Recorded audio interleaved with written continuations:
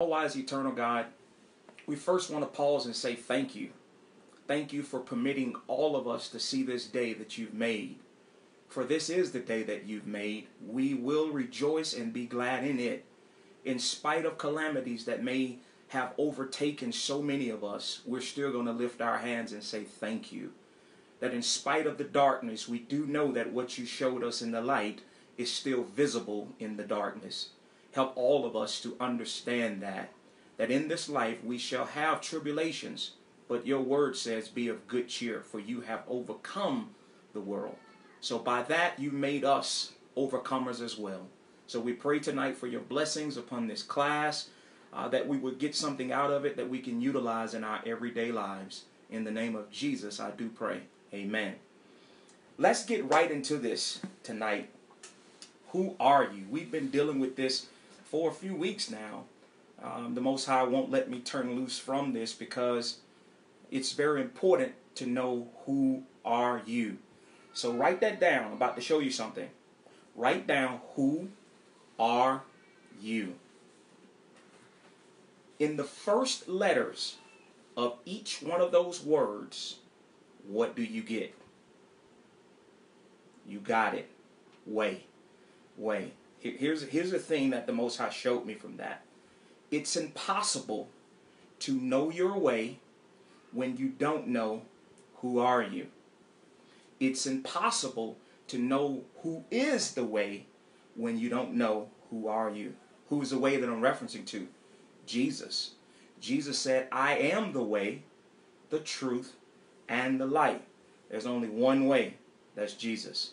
So when we dive into this tonight, who are you?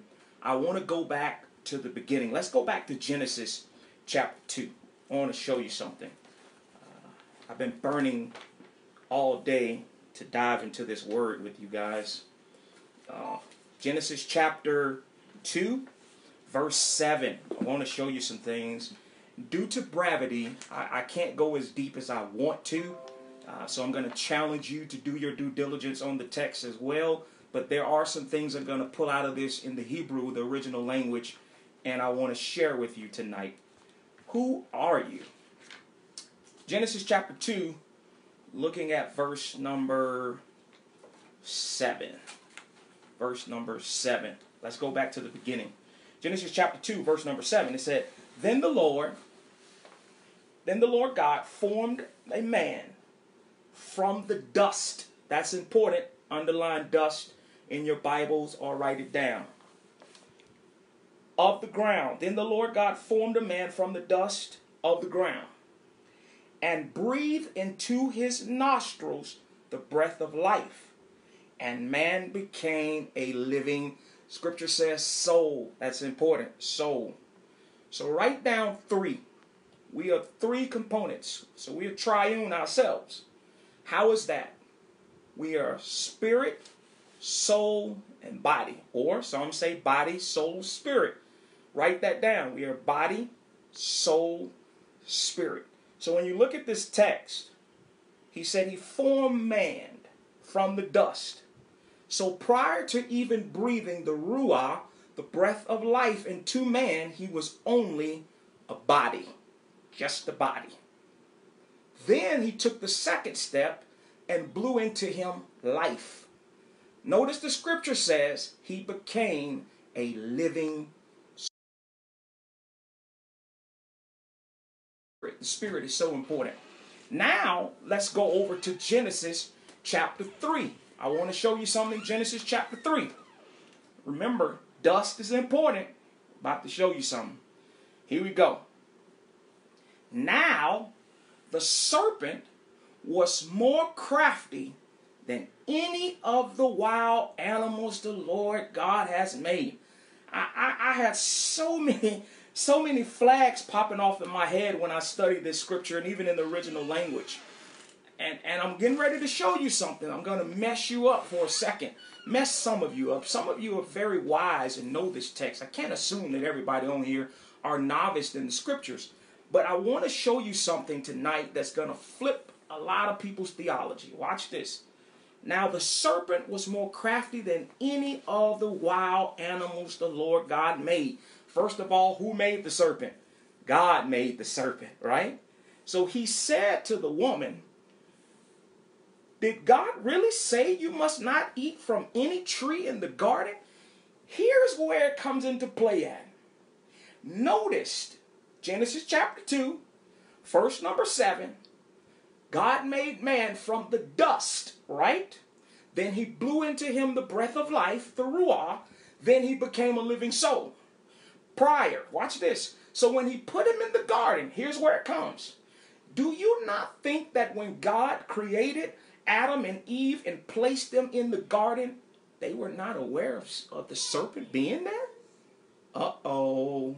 Notice the text say, now the serpent was crafty. He was very wise. So you think this was a first time that they met him? Ooh, Pastor, you you intriguing me. That's what I want to do. I want to scratch your brains and awaken you for a second. Now here, notice God created the serpent, right? The serpent was in the garden where God placed man and woman there. So watch this. Listen to this now. He said, did, did God really tell you this? Here's what a word that I want you to write down. Here's, here's where the Hebrew comes into place. I want you to write down this word.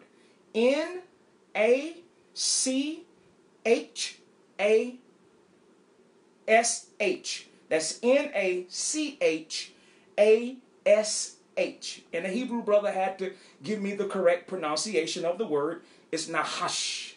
Nahash. Yeah, I see y'all laughing at me. Nahash. That's the correct pronunciation of the word. Pastor, why in the world would you give us this Hebrew word in a text like this? Watch this. I, I have been waiting for a platform to teach this, and the Most High say tonight is the night. Nowhere, I repeat, nowhere in the original text language is the serpent referred to as the devil. Uh oh, I just flipped somebody theology. Watch this. Now, the, put the Hebrew word there, Nahash. What's the Nahash? Here we go. I love that you asked that question. The devil is not even, let, let's, let's go a little deeper past. Let's step out the three feet and jump into the eight a little bit. Those are titles for him devil, liar. So the devil, the liar, he was crafty. He was able, you ready? To utilize the serpent to speak to Eve. Whoa, whoa, Pastor Nettles, what are you really? Yes, don't take Pastor's word. Do your own due diligence and study the Hebrew text itself. That's what, when you write down the word serpent, Nahash, that's what it means. So Satan is nowhere in the original language, period. But he used the serpent. He used the serpent. He jumped into the serpent. He used the serpent mouthpiece to beguile Eve. Are y'all with me? So watch this. Let's drop down and get a little deeper. We're going to get a little deeper. Now watch this. Remember I told you in 2 and 7 to underline dust. We were a living soul. So first we were a body. Second, he blew into us a soul. Stay with me.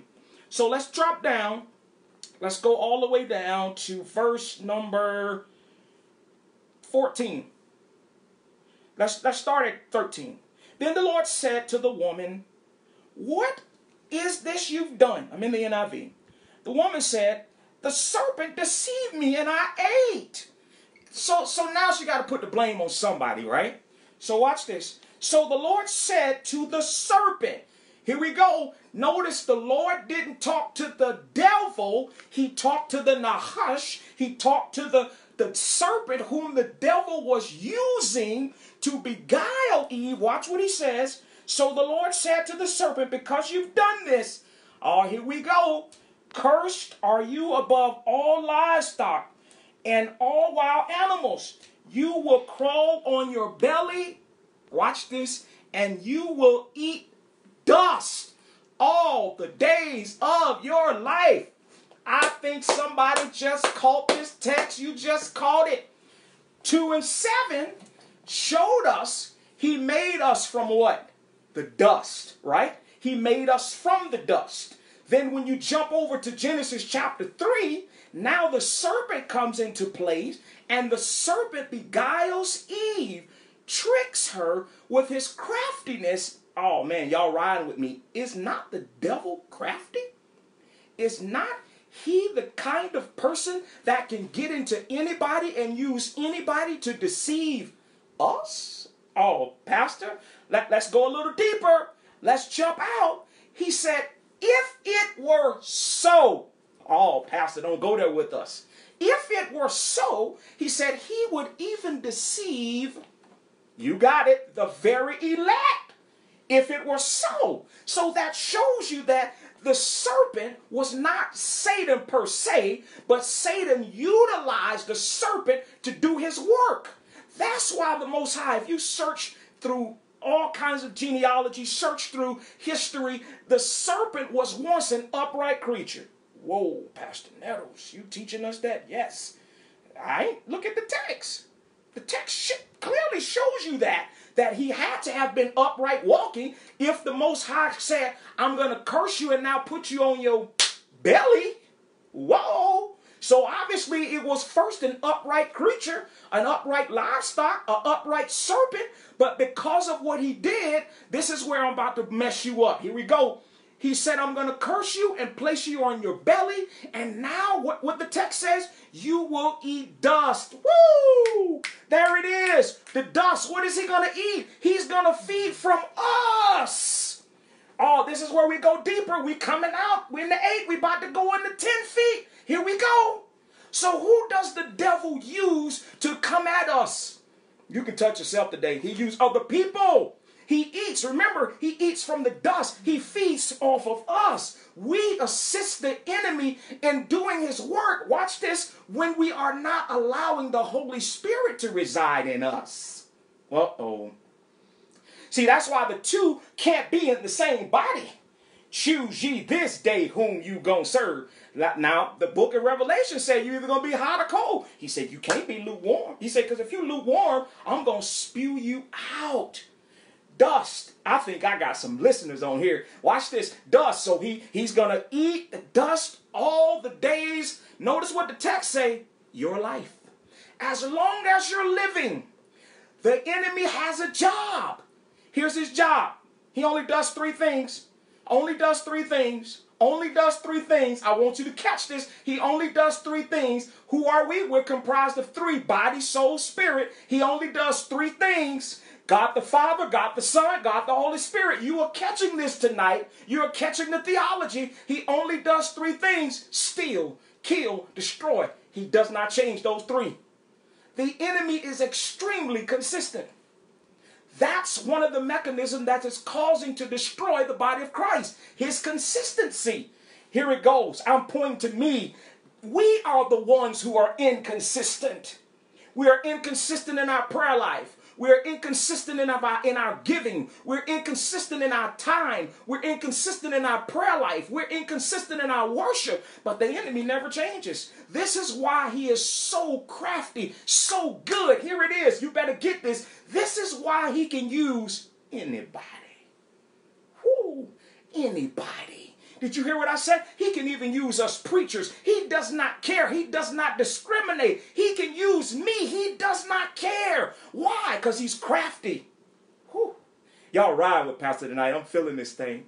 He eats from us. He uses others. He can get inside of anybody else to feed from us. Remember, we are dust.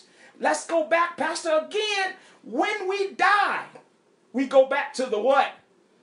Oh, y'all with me tonight to the dust from whence we came from. Yes, good job, guys. So when we go back to the dust, here it is again, and I'm about to jump over to my immediate text. We, our flesh, that's important. Your flesh is food for the enemy. Notice what I said was food for the enemy. Your flesh. Woo, let's go deeper, Pastor. When God blew into us the Ruah, we became a living soul. I hope your hands are sanitized. Touch this noggin of yours. Soul, your mind. This is where it gets deep. I'm going deep again before we go to 1 Corinthians chapter 6. You can go there as I'm talking. 1 Corinthians chapter 6. Listen to this. Let's go a little deep tonight. Your soul. The place that the enemy desires to have the most is your soul. We as believers have a job to win souls. This is where we go, Pastor. It's the job of the preacher, it's the job of believers to transform the paradigm. That's a word, give it to your young people. The paradigm. There has to be a paradigm shift, meaning your mind has got to change. This is where we're about to go tonight. Listen to this. When your paradigm stays the same, when your paradigm stays the same, you can take a person out of something and they still exemplify what they came out of. Why? Their paradigm didn't change. Their mindset this did not change. In order for us to live the life that the Most High is wanting us to live, your mindset must change. 1 Corinthians chapter 6. Go there with me. Verse 19 to 20. We talked about this last week. This is this is our foundational text. 1 Corinthians chapter 6 verses 19 through 20. Do you not know that your bodies are temples of the who? Holy Spirit. Let me give you another Greek word. Write down parakletos. Paracletus. You've heard that before. Para means alongside, right? Para, alongside, side, right? Paracletus. I'm going to come back to that. He said, Do you not know that your bodies are the temples of the Holy Spirit who is in, point to yourself, you, whom you have received from God? Paul is giving a question here, and I'm going to come back and give a foundation to this, why he was talking this talk to the Corinthians church. He said, You're not your own. You don't belong to yourself. He said, You were bought at a price. The price was paid for us. What? Jesus Christ shedding his blood for us, hung on the cross, shedding his blood for us. That's how the price was paid for us. He took on the penalty of sin. He said, You were bought with a price, therefore honor God with your bodies. Here we go. Get ready. Holy Spirit dwells in us. We were body, soul. Now, when we receive Christ as our personal Savior, He dwells in us. Here it goes. Let's go deeper, Pastor. We are the temple, right? So, as being the temple, I'm going to take my glasses off for you to see this. As being the temple of the Most High, this is why it's critical when you know who are you. Remember, who are you? First three letters in each one of those words comes out to be way, right? It's critical that you understand who are you by guarding your portals. Yes, guarding your portals. What are my portals, Pastor? Your eyes are portals. Your ears are portals. Yes, the Most High gave them to us as natural senses, but they're spiritual senses as well. Check this out. This is why you must be mindful of what you watch on a consistent basis. This is why you must be mindful of what you listen to on a consistent basis. Are y'all ready for this? Whatever you listen to the most, it's not a might, it's a matter of when it's going to come out. I've been guilty. Anybody who know me know Pastor got a flip mouth, and I'm getting better at it. I promise you, I done repented so many times. God, help me with this mouth of mine, please. And He's doing that.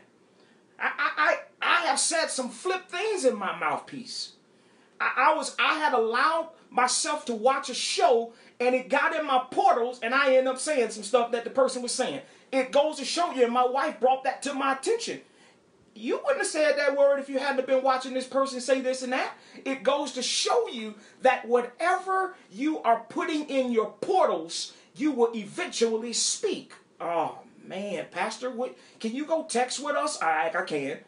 from out of the abundance of your heart, your mouth eventually is going to speak. So let's go here. here. Here comes another note taker that you need to write down about the Holy Spirit. When the Holy Spirit resides in us, I don't know about any of you, some of you might be a little more uh, out there than I am. I've never heard the, the voice of the Most High audibly. Some of you may have. This is going to mess up your theology tonight. So, Pastor Nettles, when you say, I hear you, Holy Spirit, what are you saying? I'm glad you asked. This is how the Most High communicates with us. When we have the Spirit, now let's go to scriptures. Try the Spirit, see is it of God. This is how the Most High communicates with us. His Spirit speaks to our spirit. There's a connection. Then the Spirit relays it to your mind, your soul. Then your soul speaks what the Most High told you to say. Yes. That's how he communicates with us. I ain't gonna never tell nobody I just heard the voice of the Lord say, uh-oh, what the world? I might be losing my mind then. I ain't never heard it. Maybe y'all have. But how I do hear him is he speaks to my spirit man. And my spirit man leaps and rejoices. So the communication factor goes, he don't speak to my body, flesh. He speaks to my spirit man. Watch this. My spirit man relays it in my soul, and my soul articulates what needs to be said. Did y'all get that? That's the spirit.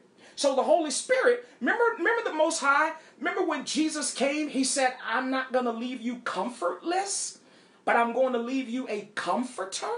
That's the Holy Spirit, the paracletus. He's a comforter. He steps in, he fills in the gaps, he enables you to do the things that you need to do. It's not by your own will that you do nothing.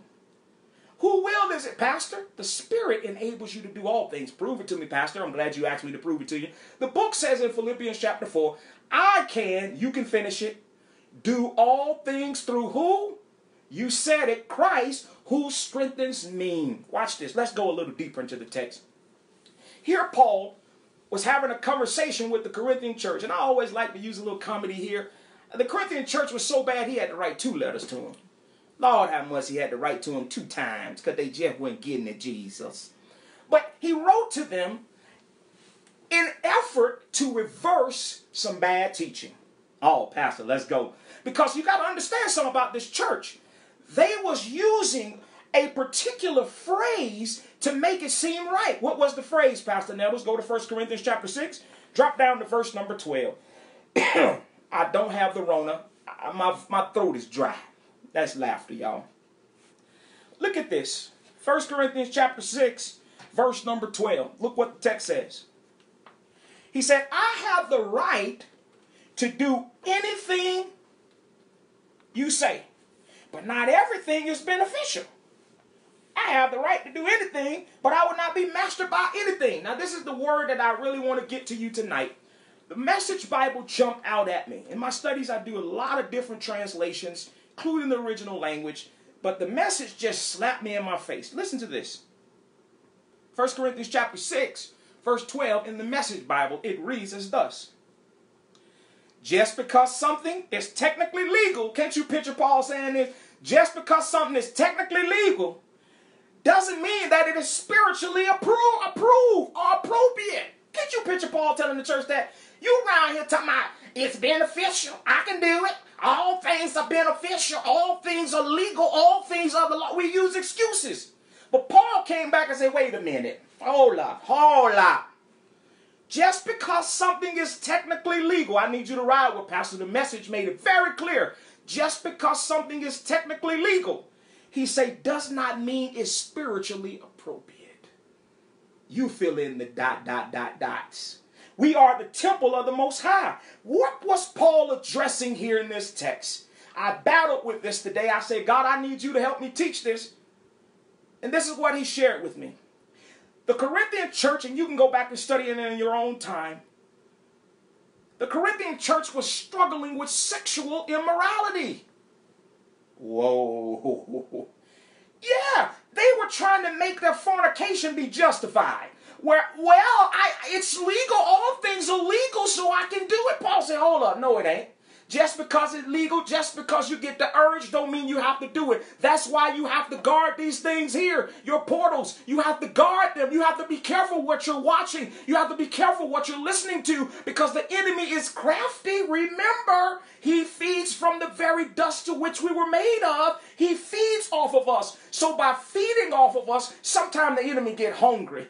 And in his hunger, he utilizes, remember the book say, remember the book say he's the prince of the you got it, the air. So he utilizes those things to tempt God's people.